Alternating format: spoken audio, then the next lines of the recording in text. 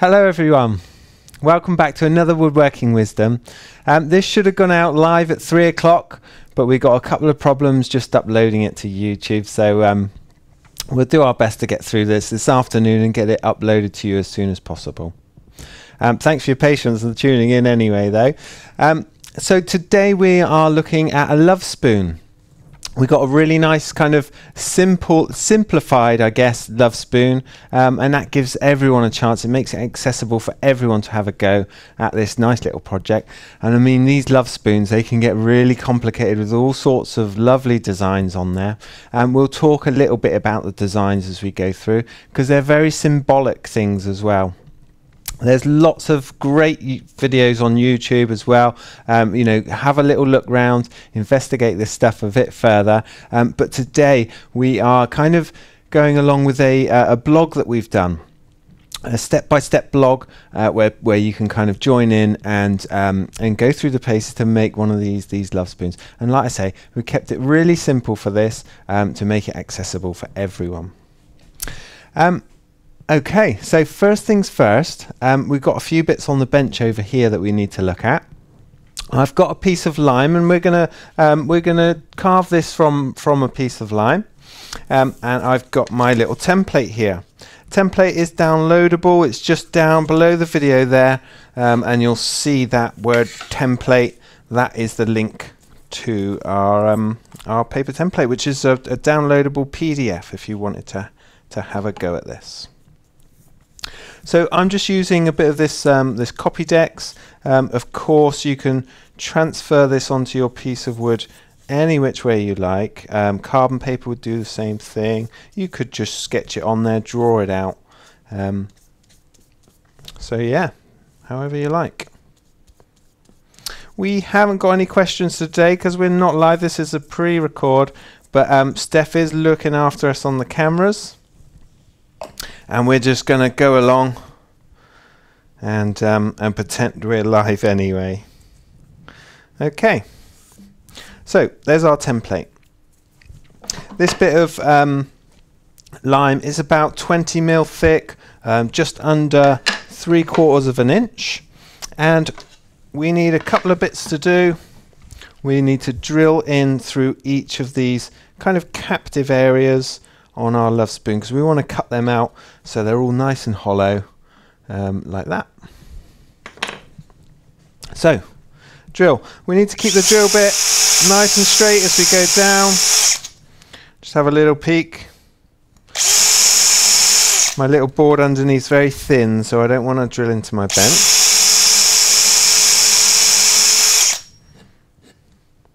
Almost there, I can see the, the spur just peeped through. So try and keep the drill nice and upright. Good. Looking along the back there, we've got our four holes. And this external shape we're just going to cut just like normal on the scroll saw.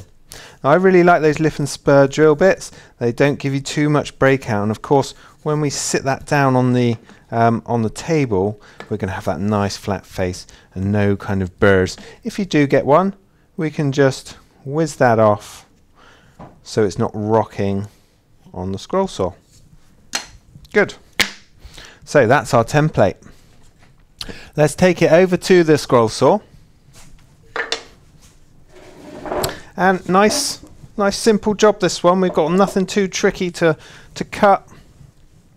And I'm going to cut those internal shapes first. So we're coming off the clamp, turn our little thumb screw there which releases the blade and then just thread that through and away we go. Um, goggles, let me find my goggles just on the bench here. Really important, we've got our eye protection on and I've hooked this up to, um, to an extractor. So we're just going to go around our shapes. Um, let's come in around this way and start to cut this shape out. My little blower is engaged there, it's getting rid of all the the dust which may lay on the cut line sometimes. But let's just take this nice and slow. Keep that curve moving around and just keep feeding onto that blade. Now I'm going to come up to that um, that kind of stop area, come back up the cut and then join in to our drill hole. I'm going to turn that off, lift this one up and get rid of that. And that allows us into this area without any kind of hindrance. Okay, so let me just get that so you can see everything on screen. On with the scroll saw and we're going to cut down into this little V of the, the heart here.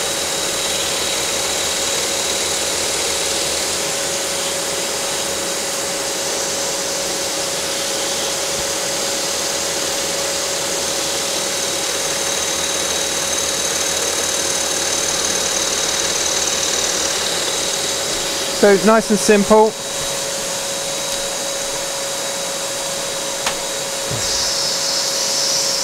Let's get that out of the way and it's on to the next shape. So just threading that through our keyhole. You can hear that extractor just sucking that dust away there. Blade goes in. So I need to back that off a little. Blade goes in. Quick tension on there. You can always pop a little bit more on the back of the machine if you need it. Okay, sorry, let me just rejiggle this. Make sure you can see what's going on. We're good. And again, we'll just cut this little keyhole shape.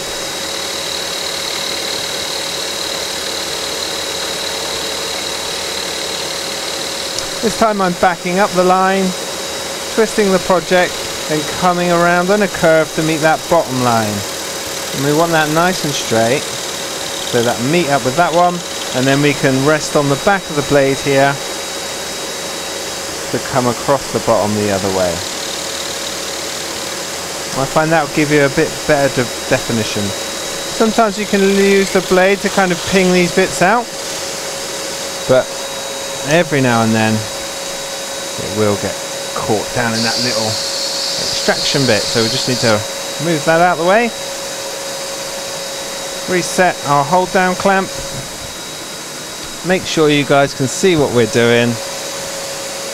And then away we go.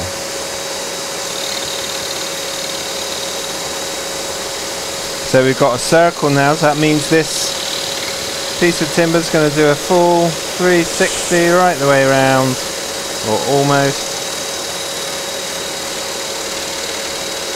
And you can see when we're scrolling how much the project moves around that pivot point which is the blade.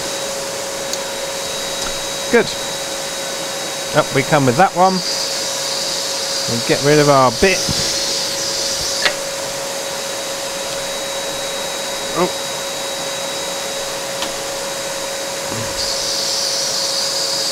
And then on to the next shape.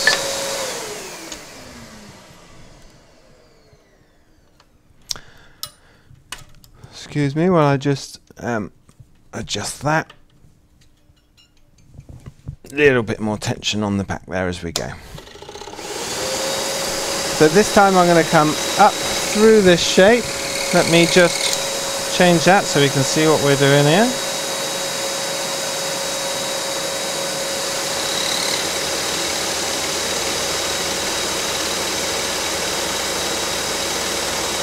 Up into that corner This one I'm going to just leave a little pip on the end. Again, we're going up to that little corner. And I like to have the two cuts meet there. Rather than try and swing around and get a little curve there, we can um, cut up to that point to meet it.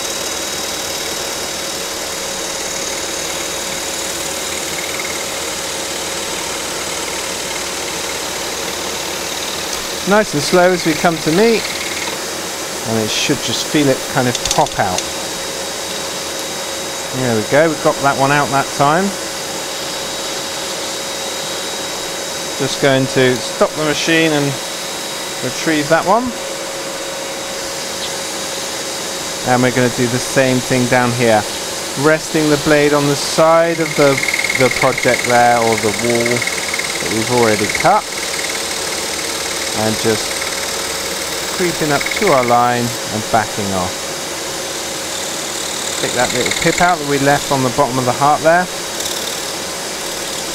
And again, we're going to come up this way and gently so I'm taking all that forward pressure off now allowing the blade to cut its way out and then we can bring this around resting on the back of the blade and again we're resting on that side wall until the little shoulder forms and we can crack on with our cut good one more of these we've got our kind of internal heart shape. And then all we need to do is just cut that outside shape. A little bit more tension. Um, this time, let's come around here. We can see the cut. Um, and let's engage that little blower. Make sure it's doing its job. So when we come to this point here, I'm going to do a little loop the loop. All of that middle section is waste. So we can come down here to that nice sharp point and we're going to overshoot it. Bring the project right the way around.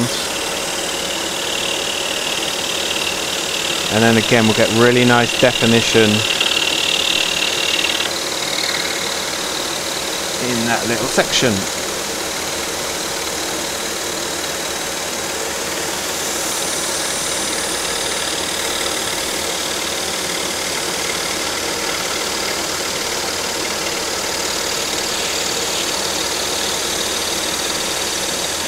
Good. To cut up into the middle here. Get rid of that waste. Again, just giving me a bit more room to work.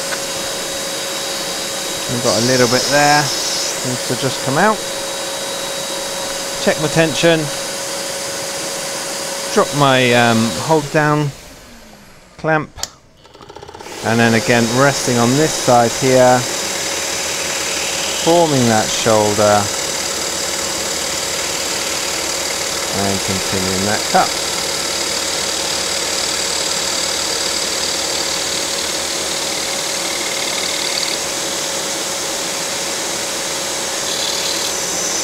Good. Coming back down this way. There we go. Just holding on by the skin of its teeth there. So, just while I'm at a natural pause, I'm going to get rid of my rubbishy bits, my offcuts. And now we're cutting out the external shape of our spoon. Oops. Got to put my tension on. And we can just whiz round this shape now. I'm going to come in here.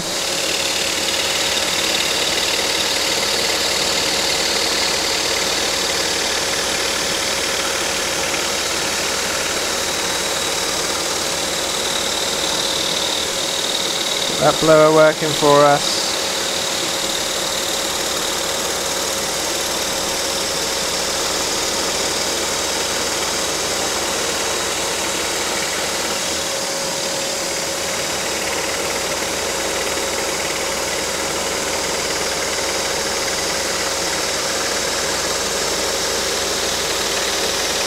Now this is a hand-drawn template.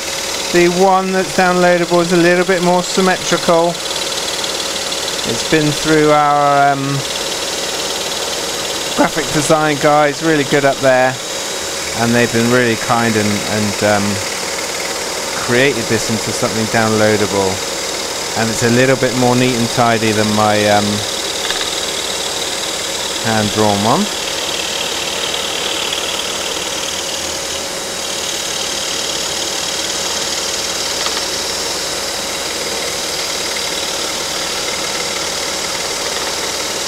So just following this shape, not forcing it too much on the blade. Again, coming into that corner, backing off, and we'll trim that off in a minute.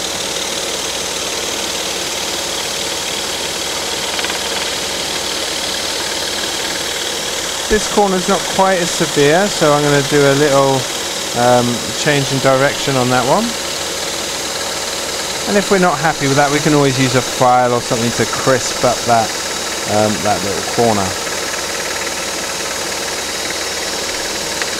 Same here, I'm happy to um, just switch the direction on the on the where the cut's going.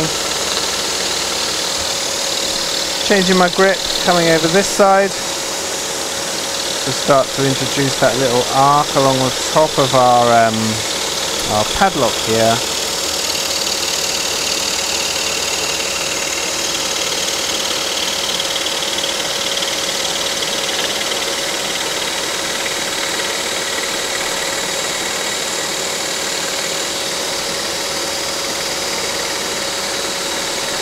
And we're not too far off. The um, roughing out process.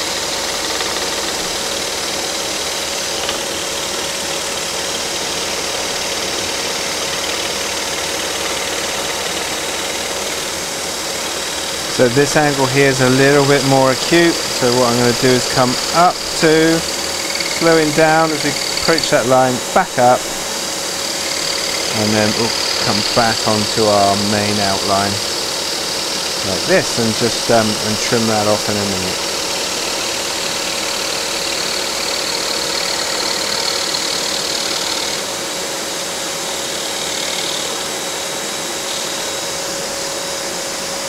Okay. So there we have our our sawn blank. Really great finish off of that um, that number five. Not too much cleanup to do on this outside face. Um, yeah, a really nice cut. No breakout on the bottom at all. Okay, that's going to save us a lot of work. Just wanted to trim those little corners out, and I've forgotten to do that. So let's just back on with the saw.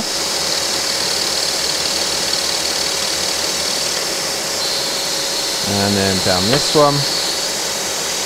Resting on the side of that blade remember form that shoulder. And then creep up. Until we see that chip just pop out. Good. And it gives us a really nice definition here and here. We've got that little um, bit of definition where we did our loop the loop there. So it's all looking nice and crisp and it's going to save us like I say a lot of time on cleanup Ben, as Okay. like an entire novice myself, so Mhm. bearing in mind we don't have any questions, if you do go off the lines or anything, does it matter so much if you've never, you know, if you're Not nervous? really. It depends if you're a bit of a perfectionist. It will matter. Um, but these are, you know, these are hand carved. They're um, handmade. It wouldn't matter to me. Um, I I would like, to, you know, I I prefer to um, get things done and and and um, you know do plenty of them.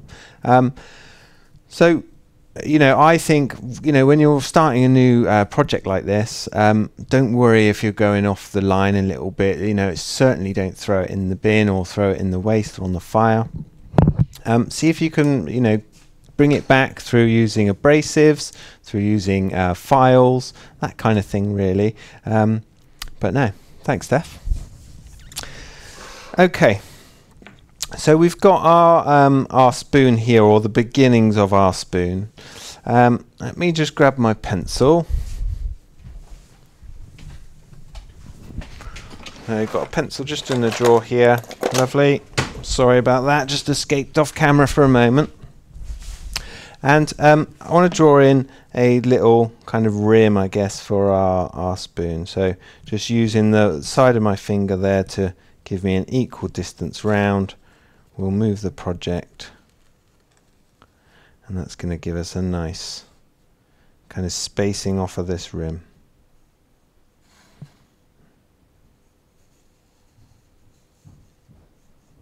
Okay, the back bit we can kind of make up and again you might want to put that as part of the design, you might want to taper the spoon in.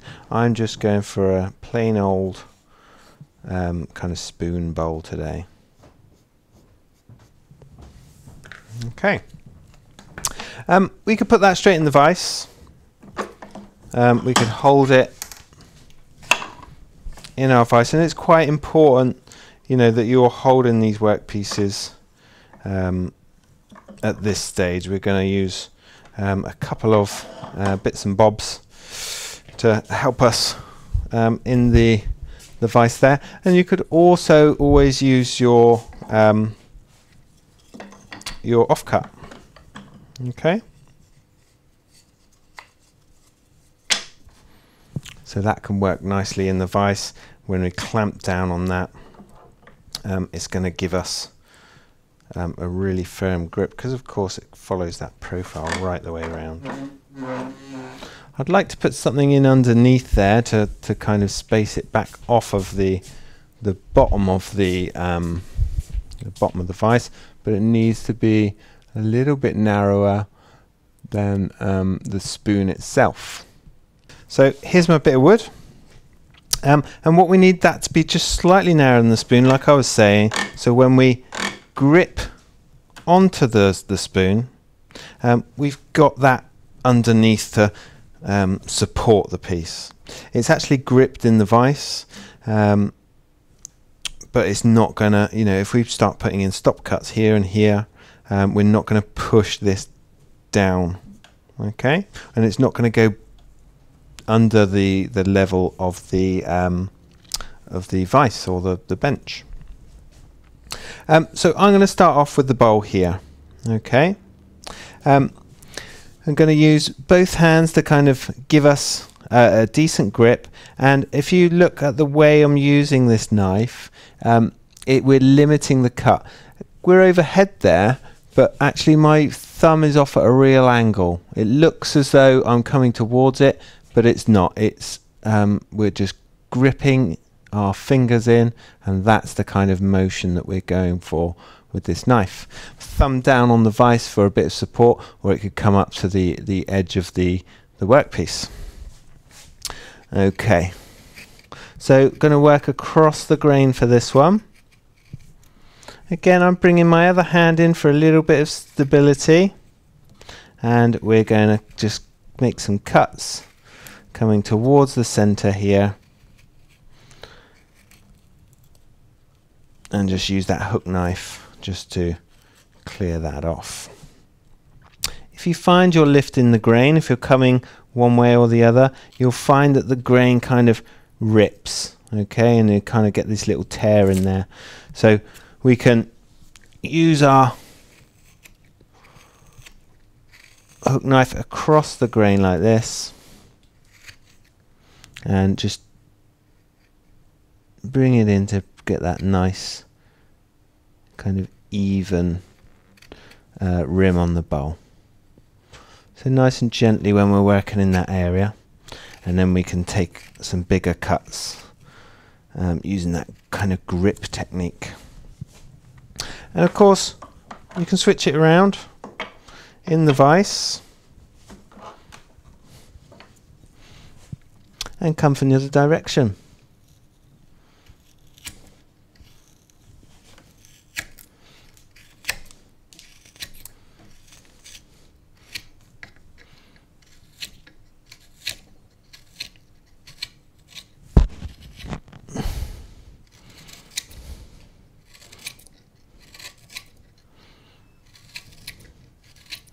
Really neat little tool this um, hook knife. Can be a bit of a pain to sharpen. Um, we like to use um, little strops Um, and you can always roll that curved blade along and I'm putting my finger on top to add a bit of downwards pressure. Okay, that's going to polish this knife. Just bringing it out because I couldn't quite get my handle right the way down to get right on that um, inside face and just pushing that along the strop to polish this front edge. A trick to these is keep them sharp. Um, don't let them get too blunt. And even just that few strokes I can feel a difference in the cut.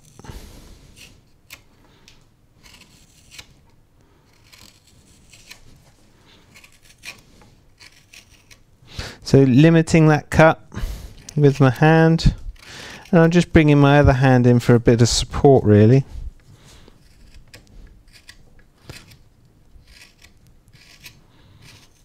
And really just want to work on that bowl until it's down to the depth that you want it. This is a, a decorative spoon. Not so much, you know, it's not really one you're going to be eating with. It's a um, it's ornamental really, and that's why they've usually got this kind of shape in the top, um, so that you can hang the um, the spoon up, so it goes up on the wall.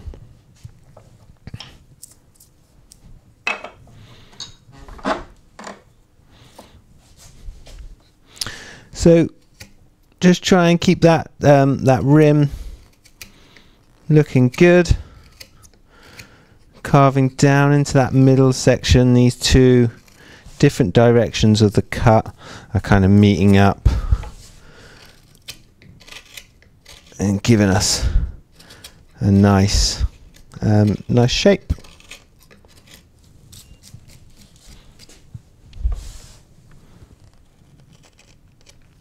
Even across the grain this can lift sometimes. It's just, you know, coming at the right angle really. Make sure it's all nice and even, that we haven't got too many kind of lumps and bumps. So usually I work at that a little bit more, get that a bit deeper.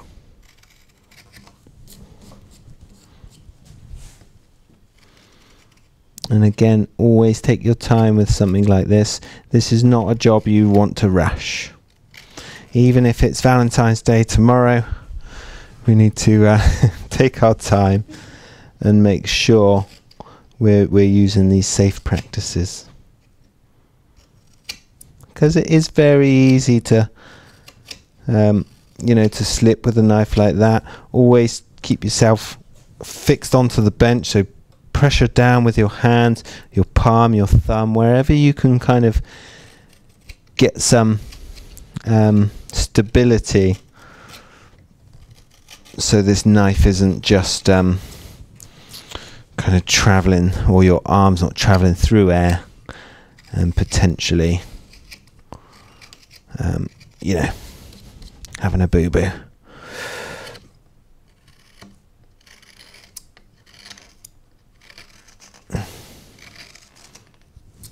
Okay, so we're not far off now.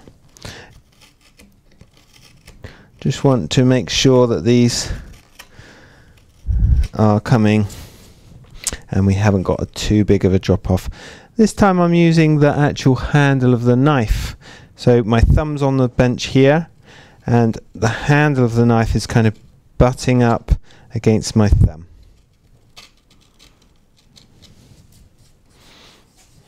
Okay, so there's a little bit of work to do in that, but you get the idea that we need to trim that bowl and get that nice um, kind of even uh, dip. How far would you recommend going down if it were yours? For the depth, Yeah, for the depth, Depth how far would you say? Well, it, it's really for show. Um, it's it's up to you, really. Any you know, um, you could do a really deep um, spoon. A good way to check: just pop a little straight edge on the top. You could always get two, and and and measure it if you wanted to measure it. This one is. It's only about five mil deep at the moment, but you know it looks a lot deeper than that. Not quite so much on the flat there, but you can see it kind of casting that shadow. You can see the, um, you know, it, it doesn't really have to go very deep, and again, that's a kind of personal choice. Um, do it how you like.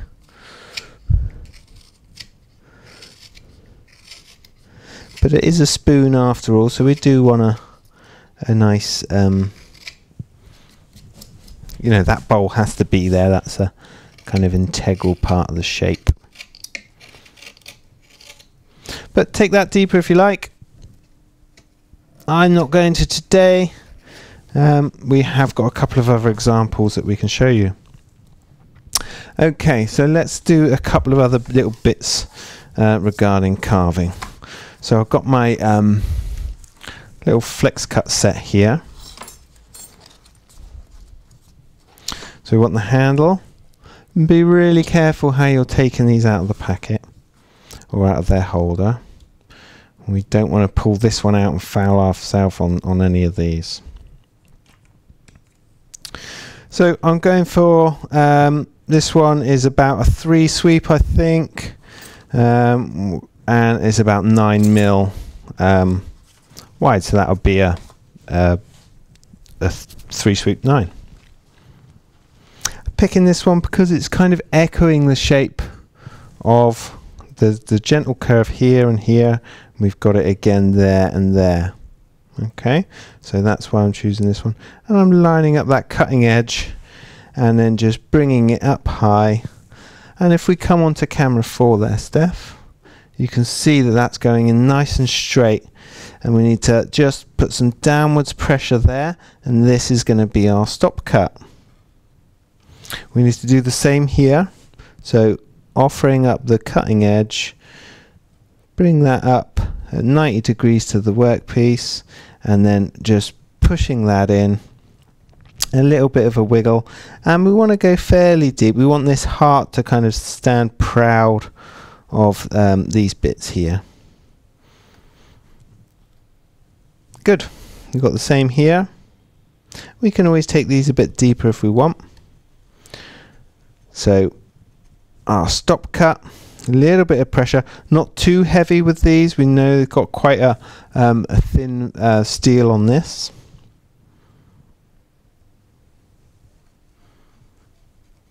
And the same there. A little stop cut which we can just pare some of this material off up to. So now we've got our cuts in we can start to carve away.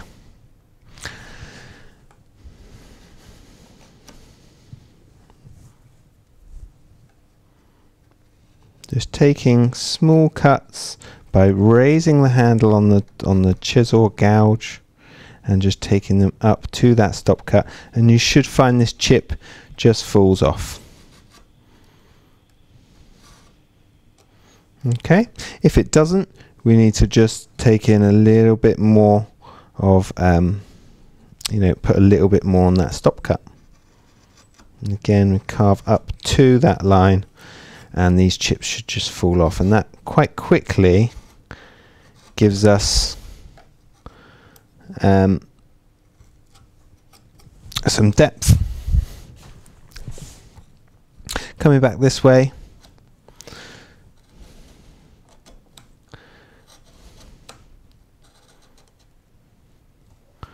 okay so I've gone down beyond that stop cut we don't really want to pick those off. That'll give you a little kind of fluffy um, edge. We want to just get down into that one. Take that a little bit further. And again this is up to you how deep you want to take this um, whether you want to actually separate the two. So the two actually really do intertwine and we don't have it as an illusion. But quite quickly getting a little shape on there. Let's come up to these other stop cuts. Hands always behind the chisel. Paring those off. Just up to those um, those stop cuts. This glue can create a little kind of slip with the tool. So just be careful as we're working you can always take that back off. Good. So Ben, quick question from me. Mm -hmm. Obviously as a no novice and everybody at home is probably knows this already, but does it matter when you're planning this piece and, and sticking down your template, does it really matter what grain direction is? Is it quite important for this section that it's in a certain way? Or? Yeah, absolutely. So um, the the grain on our piece of wood is coming um, straight along, so nice and straight grained. Um, you know, if you've got any knots or any patterns coming through, quite often they can look really nice.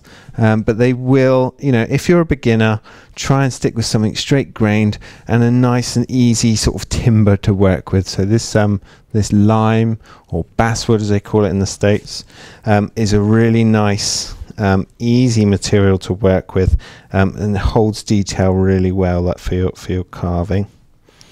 Um, so grain direction is important. We don't want to um, have the grain running this way because then it's very short grained in this area. Thank you.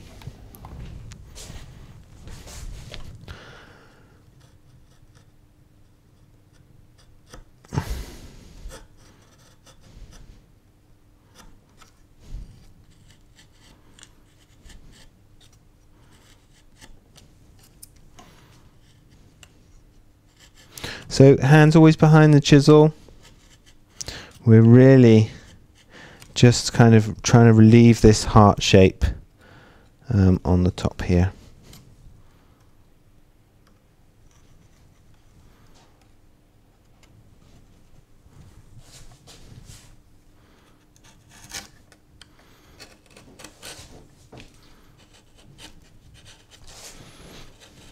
and you can remove quite a lot of material you know even though we've got this very thin steel they're super sharp and you can just whiz the material off this hand is kind of holding the blade and coming back with the blade, okay, uh, or the steel. It's not, um, you know, I'm not doing this. I'm holding the um, the steel like this, and then they're all moving together, so as not to pull the, um, you know, that cutting edge, you know, into the danger zone, if you will.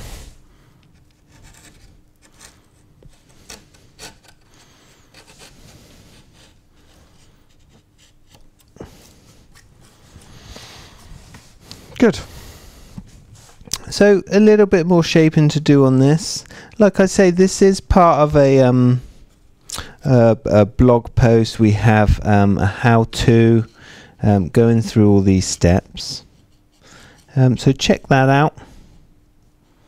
This is a kind of companion, I guess, to to a video like that. And I'm just taking almost a little kind of chamfer off off of the um, off the side here. So that's pulling up the grains. I'm coming around this corner. Remember we've got the grain direction here. I'm kind of picking at it there. So let's come back the other way. At this stage there's still plenty more carving to do.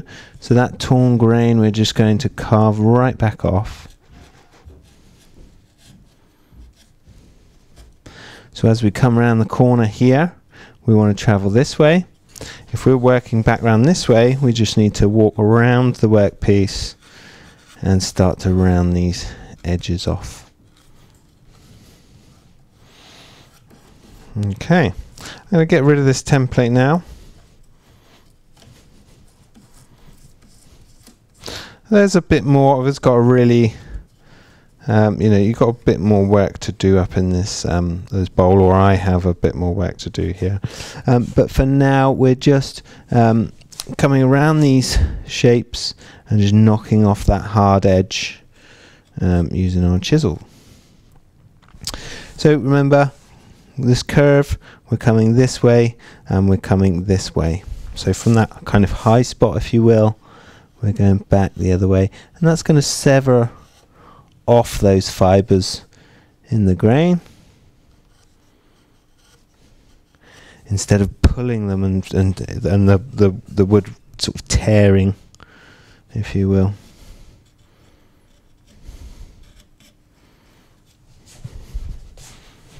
And back this way. And then these little bits can be a little bit tricky what I tend to do is get them as best you can so into the center, come back the other way, and hopefully you'll meet up with the one you've just cut. And if not, we can always get a bit of abrasive in there to, to tidy that up later. So quite quickly you can throw a shape onto this. It's just thinking about, you know, that grain direction make sure you're working with the grain.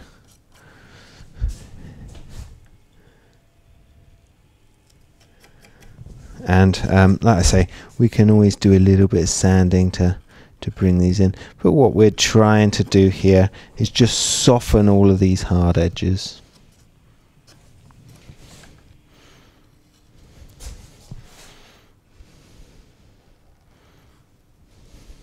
And you can also do this with a knife.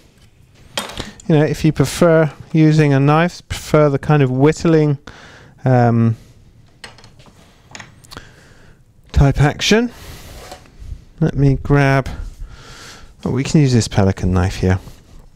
So where are we? So the way I'm going to hold this, I've got the the workpiece in one hand, I've got my knife in the other. Uh, this is the Flexcut little pelican knife here. Um, again, we need to um, be wary of that grain direction. Um, and I'm going to put, um, you know, grab the, the project, nice, a good grip, and then one thumb behind the other, and we're going to just, using both thumbs, we're kind of making a pivot shape. Okay, again, really safe. We don't want to be hacking like this. Um, although there are a couple kind of green woodworking uh, methods where you can work like that. But for here, we've got a nice seasoned bit of timber. We're just going to use this little kind of pivot technique to um, get rid of some of these um, hard shapes. Sometimes I use my um, my kind of off thumb, if you will, never kind of shoving it through the project with this hand holding the knife.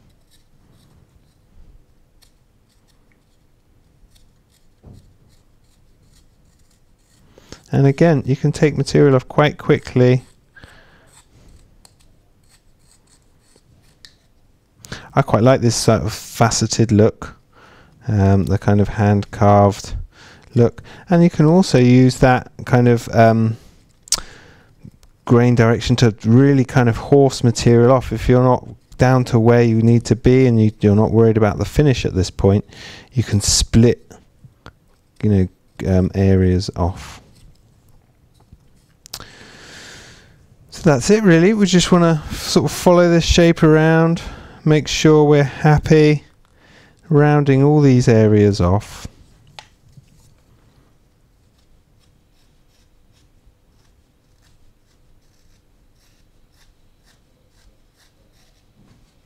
Just make sure you've got full control of the knife all the time. You can work fast, but just give yourself some practice first. Take a few practice cuts. Make sure you're happy with it. So it's coming together. We've got our kind of basic shape there. We've got a, little bit of an overlap going on through here. Um, we got the beginnings of a bowl that does need a tidy up and a, and a sand, and then of course the the kind of padlock heart at the top there. Um, a lot of symbolism in these spoons. Um, quite often you'll see chains which um, kind of um, symbolize that kind of link together. Um, this is a padlock, so we're kind of, you know, promising your heart to someone. Um, you'll sometimes see keys. You sometimes see balls in cages, which which symbolise um, the amount of children you're going to have. But this is really a kind of love promise, if you will. This um, this love spoon. Um, but check out those um, those symbols. Uh, Welsh love spoons are really lovely, old tradition, and some of them are fantastic. If you get um, you know, start having a look round. There's lots of great people on YouTube doing videos on these spoons as well. Um, you know, check them out. Okay, so you can get the rest of the story. We're going to carry on like that. We're going to round these shapes off. Um, keep going with the knife, with the um, with the gouge, if you um, you know, if you prefer. Um, and you can also use your other carving tools. This one's got a flat back on the moment, um, but again, just if you want to um, to shape the back, I like to do at least the kind of um, head of the spoon here. Make sure um, it's got that kind of um, gap in, because like I say, this will be hung on a wall or hung up on display. So quite often you'll find these spoons have a flat back um, but I like to to at least relieve this. Um, so there we go. We're we're kind of splitting off with the grain there. We took that big chunk off, um, and now we can kind of blend that in. Come back. So we're working with the grain. And just remove that, smooth it in. But you can use that, you know, use that to effect sometimes. Um, if you've got a lot of material to come off like this Pelican knife because it's got that long sweep on it. You can kind of get that pivot going, it'll cut right the way along.